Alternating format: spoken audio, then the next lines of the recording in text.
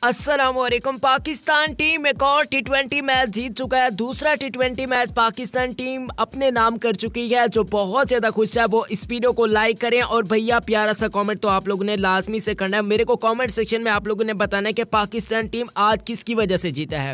کل آپ لوگوں نے کافی زیادہ کہا تھا کہ بھائی ملک صاحب کی اچھی بیٹنگ کے بدولت پاکستان کو یہ جیت نصیب ہوئی ہے۔ لیکن آج حفیظ صاحب بابر صاحب اس کے علاوہ پاکستانی جو آپ کے خیال میں پاکستان کو آج جیت نصیب کروانے والا کھلاڑی ہے وہ کون سے آپ لوگوں نے ضرور سے مجھے کامنٹ سیکشن میں بتانا ہے۔ آج کی اس ویڈیو کے اندر ہم بات کریں گے جناب پاکستان اور بنگلہ دیش کے درمیان دوسرے ٹی ٹوینٹی میچ کے مکمل احوال کے بارے میں کہ کس نے کتنے رنز بنائے کتنی گیندوں پر کس نے کتنی وکٹس حاصل کی۔ مطلب یہ کہ اینڈ تک آپ لوگوں نے اس ویڈیو کو دیکھنا ہے۔ بالکل بھی اسکپ نہیں کرنا۔ اگر آپ چینل پر پہلی مرتبہ تو چینل کو ضرور سبسکرائب کریں اور ساتھ گھنٹے کی علامت کو بھی ضرور کلک کیجیے گا تاکہ آپ کو ایسی زبردست قسم کے ویڈیوز آپ کے موبائل کے اسکرین پر آپ کو ملتی رہے جناب، سب سے پہلے تو اچھی چیزوں کی بات کرتے ہیں پاکستان ٹیم کے کھلاڑیوں کی کافی زبردست قسم کی پرفارمنس دیکھنے کو ملی ہے۔ وہ چاہے پاکستان ٹیم کے پروفیسر محمد حفیظ صاحب ہوں یا پھر ہوں بابر اعظم، ان کی جتنی بھی تعریفیں کی جائیں، اتنی ہی کم ہے۔ ایون پاکستانی بولرز نے کافی اچھی پرفارمنس کا مظاہرہ کیا۔ پروفیسر حفیظ صاحب کو میں اس لیے کریڈٹ دوں گا کیونکہ وہ واپسی کر رہے تھے اور وہ بولنگ بھی نہیں کرا سکتے، تو ان پر کافی زیادہ پریشر تھا۔ لیکن انہوں نے اس پریشر کو کافی اچھے طریقے سے اویل بھی کیا میرے حساب سے۔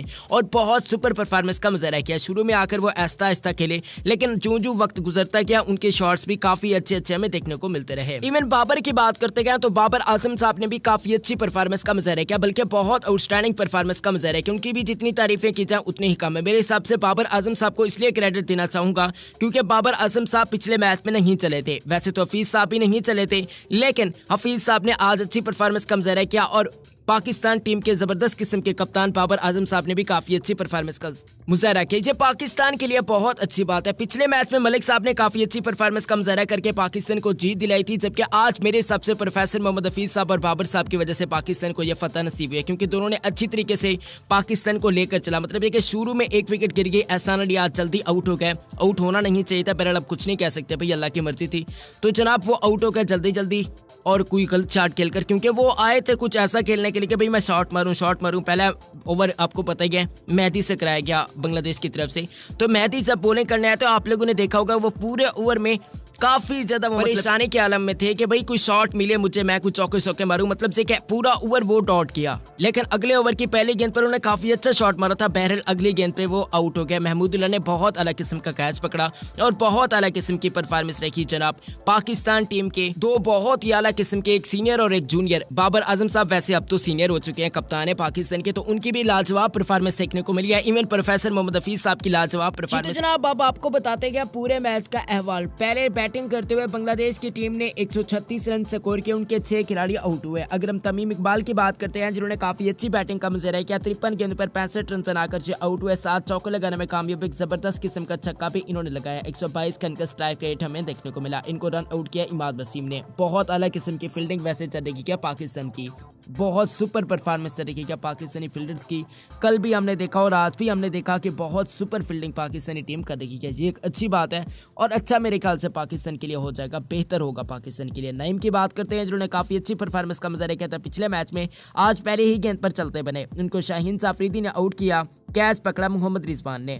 اگر ہم مہدی حسن کی بات کرتے گئے جو کہ آج کھیلتے کھیلتے ان کی واپسی ہو رہی تھی، بارہ گیندوں پر نو رنز بنا کر جو آؤٹ ہوئے، ان کو آؤٹ کیا محمد حسنین نے کیچ پکڑا رضوان نے۔ انہوں نے ایک چوکا لگایا، پچہتر ان کا سٹرائک ریٹ ہمیں دیکھنے کو ملا۔ اگر ہم لیٹن دوس کی بات کرتے ہیں سوری میں نے آپ کو پہلے نہیں بتا تمیم اقبال نے سات چوکا لگایا ایک چھکا لگا ایک سو بائیس کے ان کا سٹرائک ریٹ تھا۔ جبکہ یہاں پر اب بات کرتے ہیں لیٹن دوس کی، تو لیٹن دوس جو کہ وکٹ کیپر ہے، پچھلے میچ میں بھی اتنی خاص پرفارمنس کا مظاہرہ نہیں کر سکے، آج بھی کچھ ایسا ہی دیکھنے کو ملا۔ چودہ گیندوں پر آٹھ رنز بنا کر جو آؤٹ ہوئے، ایک چوکا لگانے میں کامیاب ہوئے۔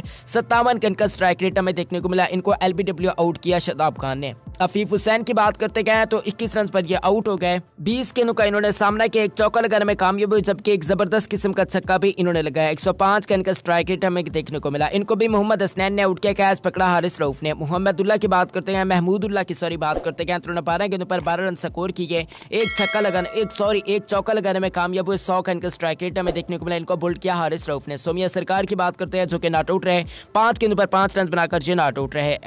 امین الاسلام کی بات کرتے گئے تو آٹھ رنز پہ یہاں ناٹ آؤٹ رہے چار گیند کا سامنا کرتے ہوئے دو چوکے لگائے انہوں نے۔ اب ذرا بات کرتے ہیں جناب پاکستان ٹیم کے پیسرز کی، پاکستانی بولرز کی۔ کیونکہ پیسرز میں نے اس لیے کہا ہے کیونکہ بہت اعلیٰ قسم کی پرفارمنس کم ذرا کر رکھی ہے خاص کر پاکستانی پیسر۔ بنگلہ دیش ٹیم نے پہلے کھیلتے ہوئے بیس اوورس میں ایک سو چھتیس رن سکور کیے، چھ وکٹس کے نقصان پر۔ پاکستانی بولرز کی بات کرتے گئے تو اماد وسیم نے دو اوور پھینکے، سولہ رنز دیے، کسی کھلاڑی کو آؤٹ نہیں کیا۔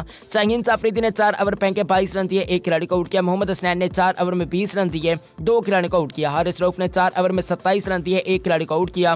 شداب خان نے تین اوور میں اٹھائیس رن دے کر ایک کھلاڑی کو آؤٹ کیا۔ شعیب ملے کی بات کرتے گئے تو دو اوور انہوں پھینکے نو رنز دیے کسی کھلاڑی کو آؤٹ نہیں کیا۔ افتخار احمد نے ایک اوور کرایا، بارہ رنز دیے کسی کھلاڑی کو انہوں نے بھی آؤٹ نہیں کیا۔ فالو وکٹ کی بات کرتے گئے تو جناب فالو وکٹ میں ہمیں کچھ ایسا دیکھنے کو ملا۔ پہلے وکٹ پانچ، دوسری وکٹ بائیس، تیسری وکٹ اکتالیس، چوتھی وکٹ چھیاسی، پانچویں وکٹ ایک سو سترہ، چھٹی وکٹ ایک سو چھبیس کے اسکور پر گری۔ پہلے آؤٹ ہونے والے کھلاڑی تھے محمد نئی دوسرے تھے مہدی حسن، تیسرے تھے لٹن توس چوتھے تھے عفیف حسین، پانچویں تھے تمیم اقبال، چھٹے تھے محمود اللہ۔ کچھ اس طریقے کی بیٹنگ دیکھنے کو ملی بنگلہ دیش کی اور پاکستانی بولرز کی بولنگ اب ذرا بات کرتے ہیں پاکستانی بیٹسمینوں کی۔ مطلب یہ کہ پاکستانی بیٹنگ لائن اپ کی بات کرتے ہیں تو جناب کیا بات کروں؟ مطلب یہ کہ جتنی بھی تعریفیں کروں اتنی کم ہے۔ بابر اعظم صاحب کو ہم نے دیکھا کہ وہ جس طریقے کی آج کل بیٹنگ کر رہے نا، بہت سپر پرفارمنس پہلے لوگ کافی زیادہ تذکرہ کیا کرتے تھے بابر اعظم کا، بلکہ وہ شکایت کیا کرتے تھے کہ بھائی بابر اعظم بہت سلو کھیلتے ہیں، بابر اعظم تیز نہیں کھیل سکتے، بابر اعظم ایسے نہیں کر سکتے، بابر اعظم ویسے نہیں کر سکتے۔ لیکن بابر اعظم نے یہ ثابت کر دیا کہ وہ بہت تیز کھیل سکتے ہیں اور آج انہوں نے ایسا ہی کچھ کیا۔ بہت تیز بیٹنگ کا مظاہرہ کہ شروع سے ہی ان کے کو پہلی گیند پہ یار فل ٹاس کرائی تھی۔ سفی الاسلام صاحب نے تو پہلی گیند گیند پر انہوں نے چوکا مرا بابر اعظم صاحب نے بہت اعلیٰ قسم کا ویسے بہت خوبصورت شاٹ تھا۔ یار، میں جتنی بھی تعریفیں کروں، بابر اعظم کے اس شاٹ کی اتنی ہی کم ہے۔ بابر اعظم نے بہت سپر بیٹنگ کا مظاہرہ کیا۔ لیکن ایک خاص بات ہمیں یہاں پر دیکھنے کو ملی، احسان علی صاحب کی۔ میرے خیال سے وہ اتنے خاص پلیئر ہیں نہیں، کیونکہ وہ پہلے دو میچز میں، ایک میچز میں پتہ چل جاتا ہے کہ بھائی پلیئر کیسا ہے۔ شرجیل خان کو ہم نے دیکھا، ہمیں پتہ چل گیا تھا کہ بھائی اس پلیئر میں جان ہے ٹیلنٹ ہے، بہت الگ قسم کا کھلاڑی ہے۔ ویسے ان میں بھی کافی اچھا ٹیلنٹ ہے، آخر کس وجہ سے شامل کیا گیا۔ لیکن اس طریقے کے یہ پلیئر نہیں ہے جس طریقے سے فخر زمان ہو گئے، کامران اکمل ہو گئے یا پھر شرجیل خان مطلب سے کہ یہ ون ڈے کے پلیئر لگتے ہیں اور ایسا ہی کچھ ہمیں آگے بھی دیکھنے کو شاید مل سکتا ہے۔ پیرل ابھی کہنا کچھ قبل اس وقت ہوگا۔ آج یہ سات گیندوں پر کوئی رنز نہیں بنا سکے اور یہ آؤٹ ہو گئے۔ بالکل صحیح سننے کی کیا سات گیندوں پر کوئی رنز انہوں نے نہیں بنایا۔ شیف الاسلام کی گیند پر یہ آؤٹ ہوئے۔ محمود اللہ نے کیچ پکڑا۔ صرف واحد آؤٹ ہونے کھلاڑی یہی تھے۔ اس کے علاوہ پاکستان کی کوئی وکٹ بھی نہیں گری۔ مطلب سے کہ اگر یہ بھی نہ آؤٹ ہوتے تو پاکستان دس وکٹ سے جیت سکتا تھا۔ پیرل ایسا ہوا نہیں۔ اب کچھ کچھ نہیں کہہ سکتے۔ بابر اعظم صاحب نے چھیاسٹھ رن سکور کیے۔ چوالیس گیند کا سامنا کرتے ہوئے سات چوکے لگا، ایک زبردست قسم کا چھکا بھی دیکھنے کو ملا۔ ایک سو پچاس کا سٹرائک ریٹ ہمیں دیکھنے کو ملا۔ بہت سپر سٹرائک ریٹ تھا یار، جتنی بھی تعریفیں کروں، اتنی ہی کم ہے اس سٹرائک ریٹ کی۔ ایک سو پچاس کا سٹرائک ریٹ یہ ان لوگوں کے لیے بہت بڑا تمانچہ ہے بابر اعظم کا۔ جو لوگ کہتے ہیں کہ بھائی بابر اعظم اچھے بیٹسمین نہیں یا بابر اعظم اچھی بیٹنگ کا مظاہرہ نہیں کرتے یا پھر بابر اعظم بہت سلو کھیلتے ہیں ان کے منہ پر میرے خیال سے بابر اعظم نے زنڈاتے دار تھپڑ مارا ہے۔ شاید ایسا میں کہوں تو کہنا بالکل غلط نہیں ہوگا۔ اس کے علاوہ فیس صاحب کی بات کرتے ہیں جو کافی زیادہ لوگ کہتے ہیں کہ بھائی سینئر کی واپسی نہیں ہونی چاہیے۔ اب انتالیس سال ایج ہے، حفیظ صاحب کی۔ شیخ ملک صاحب تھرٹی پلس ہے تھرٹی فائیو پلس ہے سوری تو ان کی پینتیس سال سے زیادہ ایج ہے۔ تو بھئی آخر ان کو کس وجہ سے شامل کیا گیا؟ پہلے میچ میں ہم نے دیکھا کہ ہم ملک صاحب کی وجہ سے جیتے۔ لیکن آج ہم نے دیکھا کہ پروفیسر محمد حفیظ صاحب کی تباہی بیٹنگ نے یہ ثابت کر دیا کہ بھئی سینئر اگر ٹیم میں ہونا تو بہت زیادہ فائدہ ہوتا ہے۔ اور ایسا ہی کچھ ہمیں دیکھنے کو ملا۔ انچاس کے پر سڑسٹھ رنز بنا کر جن آٹ اٹھ رہے محمد حفیظ صاحب، پروفیسر محمد حفیظ صاحب، نو چوکے لگائے، ایک چھکا لگا ایک سو چھتیس کے کا اسٹرائک ریٹ ہمیں دیکھنے کو ملا۔ اگر ہم پاکستانی بیٹنگ لائن اپ کی بات کرتے ہیں تو تو سولہ پوائنٹ چار اوورس میں پاکستان ٹیم نے ایک سو سینتیس کا آنکڑا عبور کیا۔ مطلب کہ عبور تو نہیں کیا، ایک سو سینتیس رنز پاکستان ٹیم نے بنایا۔ اب ذرا بات کرتے ہیں جناب بولنگ لائن اپ کی، بنگالیوں کی بنگلہ دیش کی۔ سوری بنگلہ دیشی مسلمان بھائیوں کی۔ تو مہدی حسن نے چار اوور پھینکے، اٹھائیس رن دیے، کسی کھلاڑی کو آؤٹ نہیں کیا۔ سیف الاسلام کی بات کرتے ہیں۔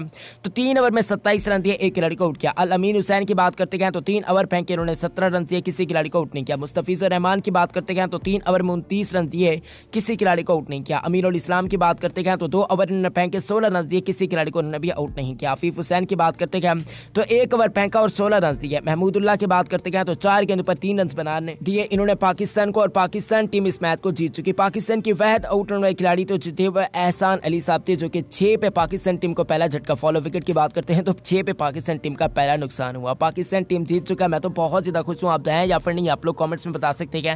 ایون یار، بہت زیادہ خوشی ہے۔ پاکستان اگر جیتتا ہے نا، تو یہ الگ ہی فیل ہوتا ہے۔ اور اپنے ہی ہوم گراؤنڈ اپنے ہی ہوم گراؤنڈ میں جیتے تو بھائی مزہ تو دوبالا ہی ہو جاتا ہے نا۔ ایسا ہی کچھ ہمیں دیکھنے کو ملا۔ انشاءاللہ امید کرتے ہیں کہ پاکستان ٹیم کی ایسی کی پرفارمنس رہے گی اور پاکستان ٹیم ایسی کی پرفارمنس کا مظاہرہ آگے بھی کرتا رہے گا۔ انشاءاللہ سمہ انشاءاللہ آپ لوگوں نے دعائیں کرنی ہے میں ملتا ہوں آپ سے کسی نیکسٹ اچھی ویڈیو میں۔ ویڈیو اگر اچھی لگے تو ویڈیو کو لائک کریں شیئر کریں اور چینل کو بھی ضرور سے سبسکرائب کیجیے گا تاکہ آپ کو ایسی زبردست قسم کی ویڈیوز آپ کی موبائل کی اسکرین پر آپ کو ملتی رہیں۔ تو اپنا بہت سارا خیال رکھے گا۔ اپنے پیاروں کا بہت سارا خیال رکھے گا۔ میں ملتا ہوں آپ سے کسی نیکسٹ اچھی ویڈیو میں۔ اسلام زندہ باد۔ پاکستان زندہ باد، پاکستان آرمی پائندہ باد۔ اللہ ہم سب کا ہم یو ناصر ہے۔